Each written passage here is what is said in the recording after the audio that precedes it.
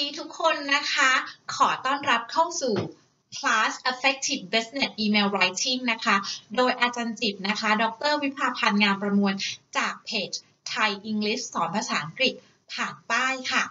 วันนี้นะคะอาจารย์ตั้งใจที่จะมาแชร์ความรู้นะคะ เกี่ยวกับการเขียนอีเมลเป็นภาษาอังกฤษให้ทุกคนนะคะ โดยคอร์สนี้เนี่ยเป็นคอร์สฟรีนะคะ ซึ่งจะจบในตัวเอง คอร์สนี้มีทั้งหมด 4 ครั้งนะคะ เดี๋ยวในวิดีโอนี้เนี่ยอาจารย์จะบอกว่า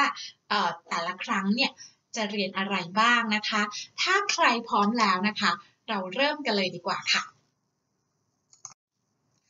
อันดับแรกเนี่ยต้องขอบอกว่าวัตถุประสงค์ของคลาสนี้มีอะไรบ้างนะคะ ก็หลักๆเนี่ยก็มีวัตถุประสงค์ง่ายๆ แค่ 2 อันเองนะคะ อันแรกก็คือว่า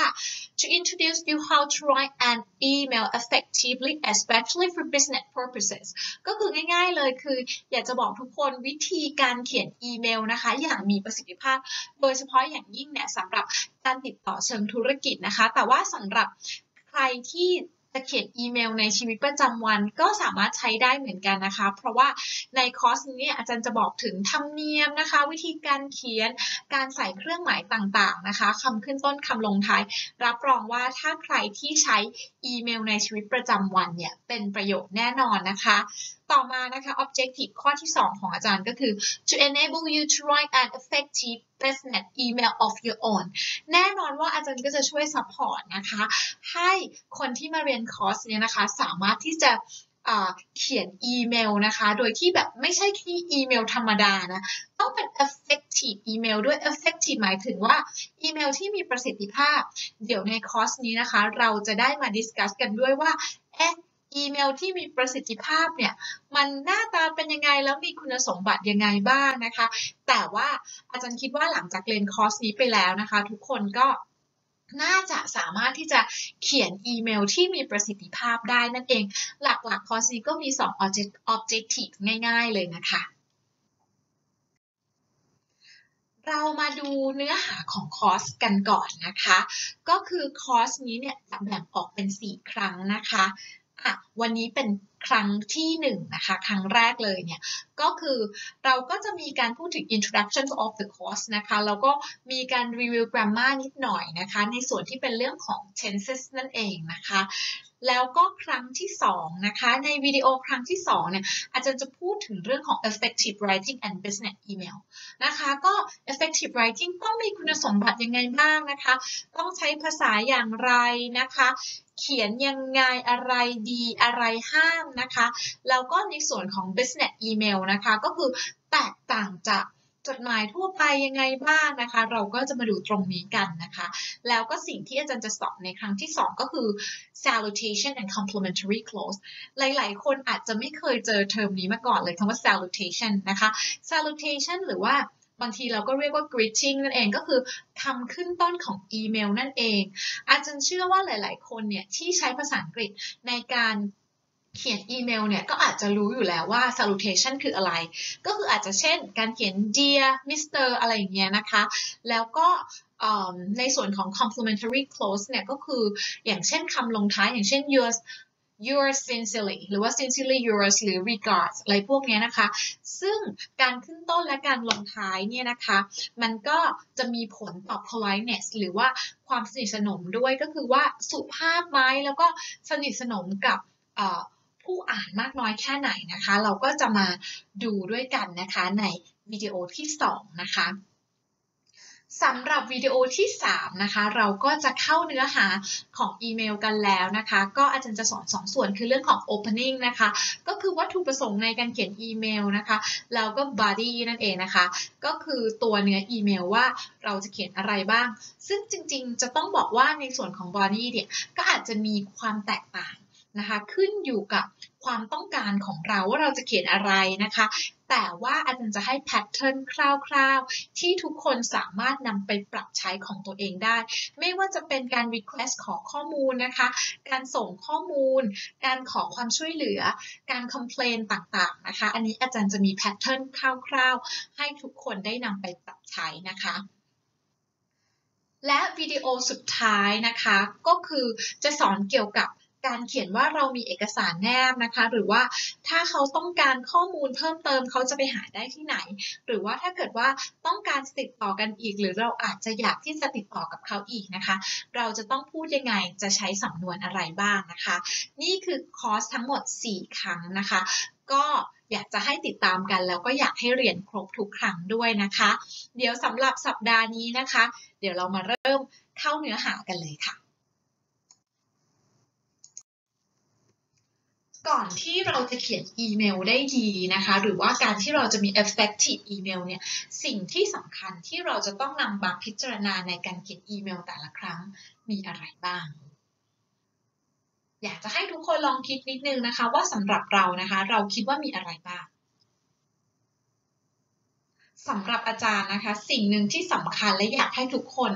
ไม่มองข้ามเลยคือเรื่องของภาษาที่ใช้นั่นเองค่ะ the language you use or the language you should use นะคะสำหรับใครที่ใช้แบบไหนก็ตามนะคะ อาจารย์ไม่รู้แต่ว่าวันนี้เนี่ยอาจารย์จะมาแนะนำว่าภาษาที่ควรใช้เนี่ยเราควรจะโฟกัสเรื่องอะไรบ้าง เรื่องแรกเลยนะคะก็คือเรื่องของ tenses นั่นเอง tense นะคะ การใช้ tense ให้ถูกต้องมีสิ่งที่เป็นสิ่งที่สำคัญมาก เนื่องจากว่าเวลาที่เราเนี่ย พูดถึงอดีต ปัจจุบันหรืออนาคต อย่างเช่น I order I order your work I I order your product อย่างเงี้ยนะคะ order ก็คือสั่งไปแล้วหรือว่า I will order ก็คือจะสั่งอย่างเงี้ยนะคะ หรือ am ordering ช่วงนี้ยังสั่งอยู่อะไรเงี้ยนะคะ tense เนี่ยก็ถือว่าเป็นสิ่งที่สำคัญมาก ต่อมานะคะ สิ่งหนึ่งที่จะทำให้คนอ่านเนี่ยเขารู้สึกว่าภาษาอังกฤษเราดีมากน้อยแค่ไหนเนี่ยก็คงจะหนีไม่พ้นเรื่องของ grammar นั่นเอง grammar เนี่ยจะมีหลากหลายมาก ไม่ว่าจะเป็นเรื่องของการใช้ preposition ให้ถูกนะคะ พวก collocation อย่างเงี้ยอย่างเช่นเราใช้คำว่า knowledge อย่างเงี้ยนะคะ preposition ที่คู่กับ knowledge ก็คือ of อย่างเงี้ยหรือว่า pay attention นะคะก็คือ pay attention ก็คือ to หรือว่า spend money ก็คือ spend money ใช้กับ on อย่างเงี้ยอันนี้คือสิ่งหนึ่งที่ทำให้คนอ่านเขาดูรู้ว่าเรามีความเป๊ะในภาษาอังกฤษหรือไม่นะคะแล้วก็ในเรื่องของการเลือกใช้ศัพท์หรือสำนวนต่างๆ ด้วย แต่อาจารย์จะบอกว่าสำนวนนะคะ อย่างเช่น in the long run หรืออะไรเงี้ยมันอาจจะไม่จำเป็นเท่ากับการสื่อสาร ที่ใช้ tense และ grammar ที่ถูกต้องคือขอให้ basic เนี่ยโอเคก่อน หลังจากนั้นเนี่ยการที่เราจะมาเลือกใช้พวกสำนวนอะไรต่างๆ หรือว่าคำศัพท์หรูหราเนี่ยเป็นสิ่งที่ค่อยว่ากันทีหลังนะคะ อาจจะไม่จำเป็นมากสำหรับตัว business email นะคะ แต่ว่า tenses กับ grammar เนี่ยขอให้ถูกเถอะนะคะต่อมานะคะในในเรื่องของ norms norms ก็คือธรรมเนียมการปฏิบัติต่าง ๆ อย่างเช่นว่าเราเป็นลูกค้าเราควรจะอีเมลหากเราเป็น บริษัทนะคะ เราควรจะอีเมลหาลูกค้าก่อนหรือเปล่านะคะ หรือว่าเอ๊ะปกติแล้วลูกค้าจะต้องอีเมลมาขอ information จากเราธรรมเนียมปฏิบัตินะคะของแต่ละที่ก็อาจจะไม่เหมือนกัน แต่ส่วนใหญ่แล้วเนี่ยอย่างที่เรารู้กันก็คือว่าผู้น้อยเนี่ยควรจะต้องอีเมลหาผู้ใหญ่นะคะ แล้วก็การเลือกใช้ salutation หรือว่าคำขึ้นต้นแล้วก็ complimentary close นะคะ ก็ควรจะถูกต้องด้วยนะคะ อันนี้ก็ถือว่าสำคัญมาก แล้วก็การเขียนไม่ว่าจะเป็นเรื่องของวันที่นะคะ ถ้าเป็นระบบอังกฤษหรือว่า British English นะคะ ก็จะเป็นวันเดือนปี แต่ถ้าเป็นระบบอเมริกันนะคะ ก็จะเป็นเดือนวันแล้วก็คอมมาแล้วก็ปีนะคะ อย่างเงี้ยเวลาที่เราลองสังเกตภาษาของคู่สนทนาที่ติดต่อเราว่าเขาใช้เป็น British English หรือ American English แล้วเราก็ปรับสำนวนภาษารวมถึงตัววันที่อะไรเงี้ยนะคะ ให้เหมาะสมกับภาษาอังกฤษของเขา ก็จะก่อให้เกิดความประทับใจขึ้นเช่นกันนะคะ ต่อมาที่อาจารย์บอกก็คือเรื่องของภาษาอังกฤษ which English whether you want to use British English American English Australian English นะคะ อันนี้ที่สำคัญคืออยากจะบอกว่าเนื่องจากว่าเราเป็นคนไทยนะคะ เราไม่ได้มีภาษาอังกฤษเป็นของตัวเอง ดังนั้นเราจะเลือกใช้แบบ British English หรือว่า American English หรือ Australian English อะไรก็ได้ แต่สิ่งหนึ่งที่จำเป็นมากคือ keep consistency นะคะ ก็คือให้เกิดความสม่ำเสมอว่า ไม่ใช่ว่าสะกดคำว่า เช็คนะคะ ถ้าเป็น American English จะเป็น C H E C K แต่ถ้าเป็น British English นะคะจะเป็น C H E Q U E อย่างเงี้ยนะคะ ถ้าคำหนึ่งเราใช้เป็น British English เดี๋ยวก็โดดไปเป็น American English อย่างเงี้ย คนอ่านเขาก็จะรู้สึกสับสน ดังนั้นสิ่งหนึ่งถ้าเราเลือก British English ไปแล้วเราก็ควรจะอยู่กับสิ่งนั้นนะคะ เพื่อที่ว่ากันความสับสนของคนอ่านด้วย เนื่องจากว่าตัวเราเองเนี่ยก็ไม่ได้เป็นเจ้าของภาษานะคะ แต่อาจารย์รู้สึกว่าภาษาเขียนเนี่ย ก็คือมันจะง่ายกว่าภาษาพูดตรงที่ว่าเรามีเวลาตรวจทานนั่นเองนะคะ แต่ว่าข้อเสียของภาษาเขียนก็คือ เราอาจจะไม่สามารถมีท่าทางสีหน้าแววตา หรือว่า gestures ต่างๆ มาประกอบนะคะ แต่ว่าสิ่งหนึ่งที่สำคัญมากคือเมื่อเราเขียนอีเมลเนี่ยเราก็ต้องระวังให้ดีๆ มากเลย เนื่องจากว่าบางครั้งเนี่ยเอกสารทางอีเมลนะคะ ก็สามารถที่จะนำไปดำเนินคดีทางกฎหมายหรืออะไรพวกนี้ได้เช่นกัน ดังนั้น การที่เราใช้ tense ผิดแบบว่า ส่งแล้วยังไม่ส่งอะไรเงี้ย บางทีเราอาจจะด้วยความไม่รู้ แต่ว่าบางครั้งเนี่ยมันอาจจะก่อให้เกิดผลกระทบอื่น ๆ ในชีวิตเราได้นะคะ ดังนั้นเนี่ยสิ่งที่เป็นลายลักษณ์อักษรเนี่ยรวมถึงอีเมลก็จัดว่าสำคัญมาก ๆ ที่เราจะต้องใส่ใจในทุกรายละเอียดเลยนะคะ สิ่งสำคัญต่อมาที่เราจะมองข้ามไม่ได้เลยในการเขียนอีเมลนะคะ ก็คือเรื่องของ format นั่นเอง อันนี้สำคัญมากว่าอะไรขึ้นก่อนขึ้นหลัง มาถึงแล้วเนี่ย salutation มาปุ๊บการเขียน subject heading เป็นยังไงนะคะ อันนี้ก็สำคัญมากนะคะ แล้วก็เรื่องของการเขียน greeting หรือว่า salutation การขึ้นต้นเนี่ย ก็เป็นส่วนหนึ่งของความประทับใจ แล้วก็การใช้เครื่องหมายที่ถูกต้องเนี่ย ก็แสดงให้เห็นว่าภาษาของเราเนี่ยนะคะ ได้ เรียนมาเป็นอย่างดีนั่นเองนะคะ ต่อมาเป็นเรื่องของ grammar อย่างที่บอกก็คือว่า เนื่องจากเป็นลายลักษณ์อักษรเนี่ยควรจะต้องผิดให้น้อยที่สุดนะคะ แล้วก็ประเด็นต่อมาก็คือเรื่องของธรรมเนียมการเขียนนั่นเอง อย่างเช่นเราจะทวง ทวงเงินเขาอย่างเงี้ยนะคะ เราจะแบบเขียนมาเริ่มทวงเงินเลยหรือเปล่า หรือว่าเราจะเริ่มยังไงดีนะคะ ซึ่งแต่ละที่เนี่ยก็จะไม่เหมือนกันนะคะ แต่ละประเทศก็ไม่เหมือนกัน แต่ทั้งนี้ทั้งนั้นเนี่ยเราก็นึกถึงความเหมาะสม และที่สำคัญนะคะใน business email เนี่ยก็คือที่จะลืมไม่ได้เลยคือเรื่องของ formality ก็คืออความเรียกว่า ความเป็น professional เนี่ยสำคัญมากนะคะแล้วก็ความเป็นทางการนั่นเอง ดังนั้นเนี่ยเวลาที่เราเขียนแบบเป็นทางการนะคะ การใช้ตัวย่อเช่น I don't อย่างเงี้ยนะคะ ซึ่งตัวนี้เขาเรียกว่า contractions ก็คือการใช้ตัวย่อแบบนี้นะคะจะไม่ใช้ในการเขียนอีเมล โดยเฉพาะอีเมลที่เป็น formal เนื่องจากว่า I don't อย่างเงี้ยนะคะ เป็นคำย่อของภาษาพูด เราก็จะไม่เอามาปนนะคะ ดังนั้นการเขียน business email ที่สำคัญข้อแรกคือเขียน เต็มนะคะ อย่างเช่น it doesn't work เราก็จะไม่เขียนว่า it doesn't เราก็เขียนว่า it does not work well อย่างเงี้ยนะคะ ก็คือต้องเขียนคำเต็ม เพราะว่ามันเป็นภาษาเขียนนะคะ ประเด็นต่อมานะคะก็คือเรื่องของ useful patterns ที่มันควรจะมีในอีเมลอย่างเช่น I am writing this email to นะคะ บอก purpose อย่างเงี้ยนะคะ to give you the information about อะไรเงี้ยนะคะก็จะเป็น useful pattern ที่เราควรจะรู้เกี่ยวกับการเขียนอีเมล ซึ่งในคอร์สนี้นะคะ อาจารย์ก็จะมีให้ด้วยนะคะ ในการเขียนอีเมลนะคะ สิ่งที่สำคัญที่สุดที่เราควรจะต้องรู้คือ ไม่พ้นเรื่องของ tenses ใครที่ไม่ชอบเรื่อง tense อาจารย์จะต้องบอกว่า เสียใจด้วยนะคะ มันเป็นอะไรที่หลีกเลี่ยงไม่ได้ แล้วก็ก่อนที่จะขึ้นวิดีโอที่2เนี่ยอาจารย์อยากจะให้ไปทบทวนความรู้เรื่องของ tenses มาก่อน เพื่อที่ว่าในการที่เราจะเขียนได้อย่างดีนั้นเนี่ย grammar ข้างในในเรื่องของ tenses อะไรเงี้ยเราไม่ควรจะต้องพูดถึงกันแล้ว เพราะว่าเราจะต้องอยู่ในสมมติฐานที่ว่าเราเขียนสิ่งเหล่านี้ถูกต้องแล้ว เราถึงจะไปในส่วนของดีเทลอื่น ได้นะคะ แต่ว่าวันนี้เนี่ยอาจารย์จะมาทบทวนให้คร่าวๆก่อนนะคะอะมาทบทวนความรู้กันก่อนว่า ในภาษาอังกฤษเนี่ยมันมีกี่ tense เอ่ย so how many tenses are there เออมีเท่าไหร่คะหลายๆ คนอาจจะตอบว่า 12 ตามที่เคยเรียนมาเนาะแต่อาจารย์จะบอกว่าในความจริงแล้วนะคะ 12 นี่ไม่ถูก บางคนตอบว่า 12 16 หรือว่าบางคนจะตอบว่า3ความจริงแล้วมันมีกี่ tense เออในเรื่องของ tense นะคะ how many tenses are there โอเค จริงๆ แล้วในภาษาอังกฤษมีแค่3 tense ค่ะ tense แรกก็คือ past นะคะ tense ที่ 2 ก็คือ present tense ที่ 3 คือ future หรือว่าเราจะพูดว่า present past future ก็ได้แล้วแต่เรา ฝากไว้นิดนึง f u t u r e เนี่ยนะคะ เป็นเสียงเนี่ย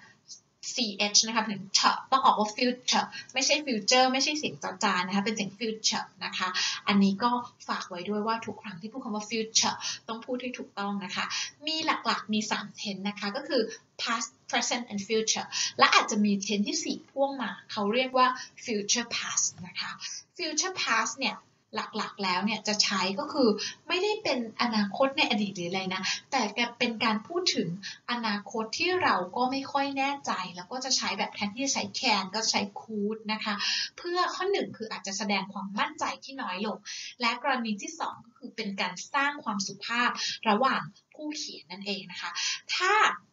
อาจารย์เขียนว่า I will ask นะคะกลายเป็น I would like to ask นะคะ ตรงนี้ก็คือแสดงให้เห็นถึงความไม่สนิทกันของผู้เขียนนะคะ ก็คือเป็นการแสดงความสุภาพในภาษาอังกฤษนั่นเองก็คือยิ่งห่างยิ่งสุภาพ แทนที่จะบอกว่า Can I get the information today นี่คือเป็น future นะคะ ที่เป็นการบอกความสามารถ เป็นการบอก possibility ใช้ can แต่ถ้าเป็น future past เราก็ใช้เป็น Could I get the information today นะคะ could ตัวเนี้ย มันไม่ได้เป็นการบอกอดีตนะแต่มันเป็นการบอกอนาคตที่แบบดูไกลห่างยิ่งขึ้นก็เป็นการสร้างความสุภาพมากขึ้นนะคะะก็ three tenses นะคะ plus future past นะคะ ส่วน simple continuous um, perfect perfect continuous เนี่ย อันนี้เราจะเรียกว่า aspect นะคะ ถ้าเกิดว่าอยากจะเช็คว่า เอ้ยกรามาคนนี้เป๊ะไหมต้องถามเขาว่าภาษาอังกฤษมีกี่ tense ถ้าใครตอบว่า 12 tense ไม่ใช่จริงๆ มันมีแค่3 tense หรืออาจจะบวกได้อีกหนึ่งแล้วก็ aspect ทั้งหมดนะคะก็จะเป็น12 aspect ก็จะเป็นเนี่ย future sim อ่า present simple present continuous present perfect present perfect continuous แล้วก็ past simple อะไรเงี้ยนะคะ ก็ไล่ไปเรื่อยๆเนาะอันนี้ใครที่ไม่แม่นเรื่อง tense อยากจะให้กลับไปดูนิดนึงนะ อะเดี๋ยวจารย์ทวนให้นิดนึงก่อนว่า present tense เนี่ยมีอะไรบ้าง ก็มี present simple ซึ่งก็เป็น verb ช่องที่1นนะคะซึ่งอันนี้เราก็จะใช้ในเหตุการณ์ที่เป็นในชีวิตประจำวัน หรือว่าเป็นความจริงอย่างเช่นบริษัทเรานะคะอออยู่ที่สุขุมวิทอย่างเช่น our company is located in สุขุมวิทอย่างเงี้ยนะคะหรือว่า on สุขุมวิท road อันนี้ก็จะเป็น verb ช่องที่1นะคะหรือว่า I am a staff I am a marketing officer อะไรอย่างเงี้ยนะคะ ก็จะใช้เป็น present simple ส่วน present continuous หลายๆ คนอาจจะเคยได้ยินชื่อ present progressive ด้วย present progressive เป็น American English นะคะ ซึ่งเป็นการเรียกการใช้ is/am/are plus verb ing ซึ่งปกติเราจะคุ้นชินกับการกำลังกระทำนั่นเอง เช่น uh, I'm teaching English อย่างเงี้ยนะคะ I'm teaching ก็คือกำลังทำอยู่นั่นเองนะคะ ซึ่งถ้าเป็นคน ที่ใช้ภาษาอังกฤษแบบ British English เขาจะเรียกสิ่งนี้ว่า present continuous แต่ถ้าคนที่ใช้ภาษาอังกฤษแบบอเมริกัน เขาจะเรียกสิ่งนี้ว่า present progressive นั่นเองนะคะ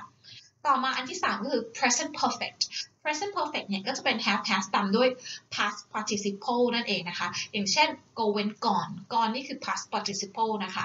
ซึ่งอันเนี้ยคนไทยจะ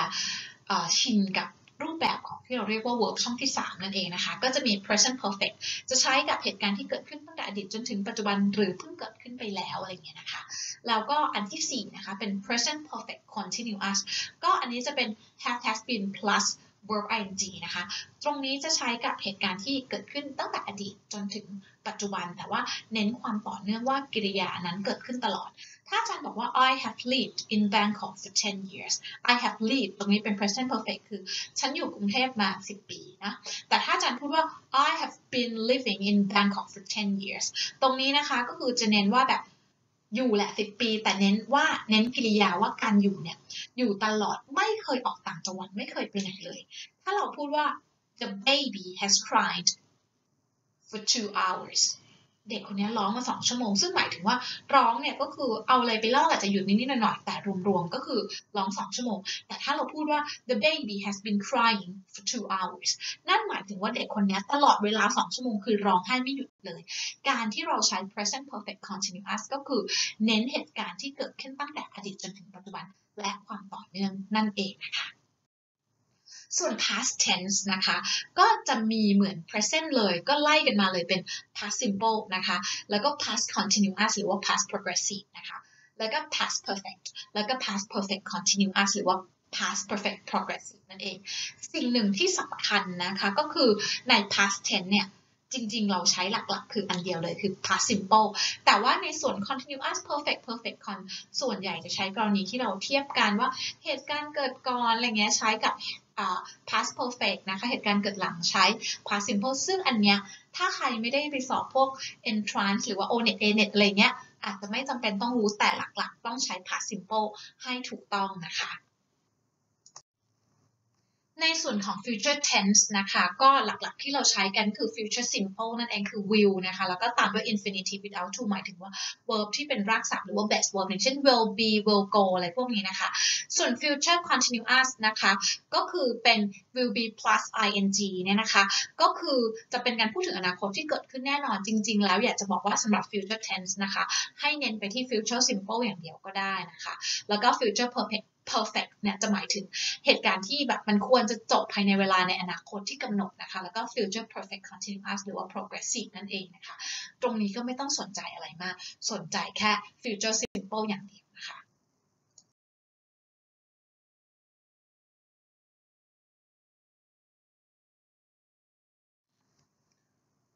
ต่อมานะคะก็คือ future past อย่างที่บอกคือมันเป็นการพูดถึง future นั่นแหละนะคะ แต่ว่าเราทำให้มันสุภาพมากขึ้นนะคะจาก will ก็เป็น would ก็คือแสดงให้เห็นระยะห่างระหว่าง